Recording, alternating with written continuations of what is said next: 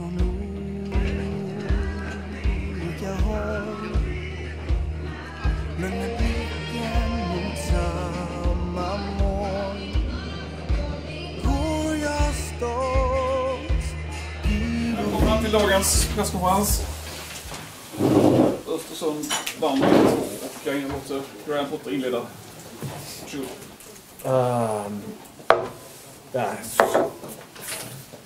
Obviously, we're very, very pleased to take our first victory. It's a big, big moment for our group. Um, hard, hard fought game.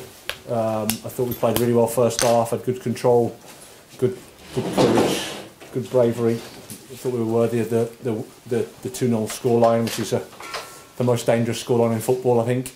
Um, uh, second half, we, you know, it's probably a bit of we had a lot to, to, to lose almost. You, have got to start again, and, and and the opposition don't have anything to lose. So I think that probably reflected our performance a little bit second half. But having said that, credit to Falkenberg. I thought they threw everything at us. Uh, had a right had a right go, got, got the goal, and then it was hands all hands to the deck, so to speak. Uh, and then that's obviously pleasing from our perspective that we could see that bit out. Uh, I'm sure we rode our luck at times, but um, over, overall very very proud of the players and their efforts. It's a, it's a big moment for us. Okej, Hasse. Ja, jag får börja med att gratulera Östersund och eh, Graham till segern. Eh, Den grundlade, grundlades ju i första halvlek.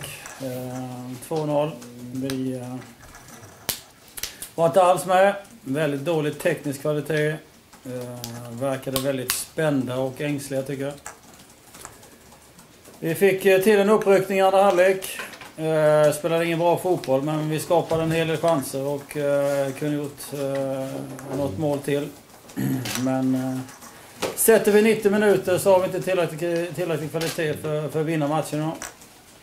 Och eh, vi har en liten uppförsbacke som vi måste eh, jobba oss ur så fort som möjligt. Tack. Frågor?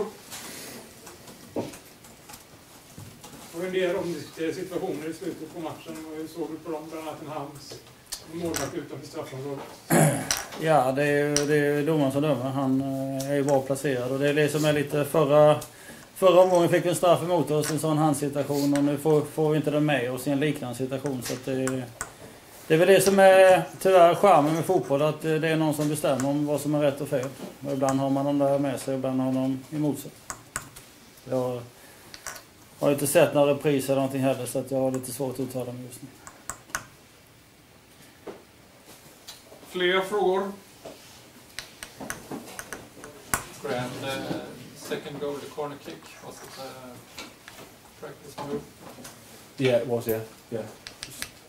The boys came up with it actually, the players. So it's nice for that to, to come off. It's like you know, I wouldn't say it came off perfectly, but sometimes you have a bit of luck and it falls to fell to Andrew off the header, and it's a good finish. So it's not a, it wasn't uh, totally to plan, but sometimes these things aren't totally to plan. and You get a bit of luck. What was the plan? It, it was still to, to cross the ball and to maybe to score off the first contact. But I think the old 50 pence head and it went the other way and sometimes you get that and, and it fell to Andrew who's who finished it well.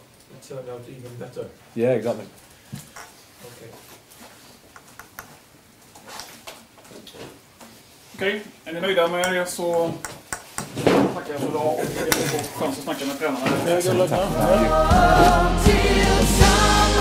för laget, vi har